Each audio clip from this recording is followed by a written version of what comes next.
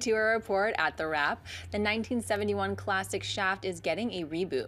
The original Shaft starred Richard Roundtree with the first reboot in 2000 starring Samuel L. Jackson.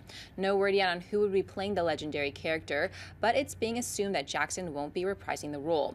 John Byer saw the return of Shaft. I'm going to buy it. I, I, I, am now. The only reason I'm going to be I'm not going to super enthusiastically buy it is because there's a spoof version of I mean, Shaft is already kind of 10% spoof yeah. anyway, but there's a true spoof version of it that I think I prefer even more, which is Black Dynamite. Yeah. Like Black Dynamite, I want to see another Black Dynamite, man. I want to see another one of those movies so badly. They did such a great job with that.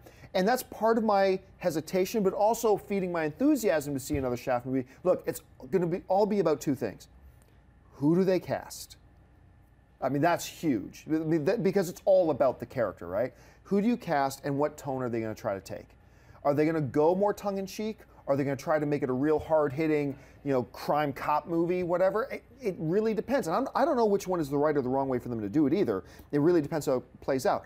But who do they cast? What's the tone? That's going to be all about it. But for now, I'm going to buy it, Christian. Yeah, that's that's my thing. Is I'm going to put it on layaway because uh, because for me, it's it's a matter of not only that, all the points you just made, but also the director and you know they bring someone in who's not just hired for a job, but someone who actually loves Shaft and wants to do something like like a Tarantino version of Shaft. Yeah, buy it tomorrow. Oh, you know can I mean? you imagine Tarantino directing Shaft? That's when that's when you ask me that question. I go, buy. You're yeah, kidding me, yeah, buy. Yeah. But then you know, then they're just like, well, what about a Roland Emmerich version? Then you're like, sell. You know, so so it's tough right now as far as who you put on there, and like you said, the the, the cast of it. But the overall today, yeah, I don't know. I, I really, I just, I don't know.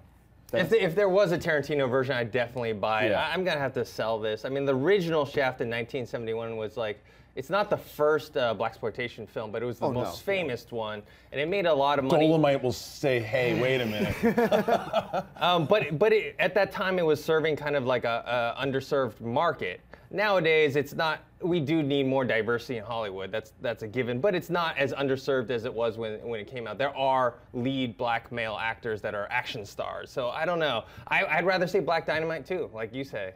Hey everyone, if you liked this video, click that thumbs up button and make sure to subscribe to our AMC Movie News YouTube channel. It's free and helps you stay up to date with all the latest movie news, as well as our daily AMC movie talk show. Also, make sure that you follow us on Facebook and Twitter to stay up to date with all of our special promotions, contests, and prize giveaways.